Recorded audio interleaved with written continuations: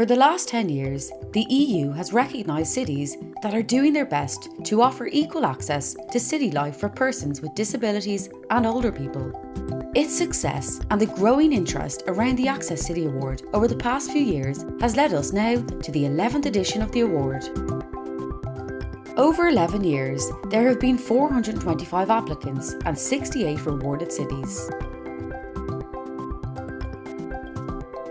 This year, 50 applications were received for the Access City Awards 2021, and as announced by Commissioner for Equality Helena Dalli, six prizes will be awarded. One overall winner, two runners up, and three winners in special mention categories. A novelty for this very special year is that there is one special mention category on accessibility in times of pandemic. This year, the six shortlisted cities in alphabetical order are Bremerhaven, Germany, Firenze, Italy, Gdynia, Poland, Jönköping, Sweden, Sweden, Komotini, Greece, and Poznan, Poland. The six winners of the Access City Award 2021 will join their predecessors in becoming symbols of commitment, innovation, and progress towards creating genuinely accessible cities and serve as an inspiration to others across the EU and beyond.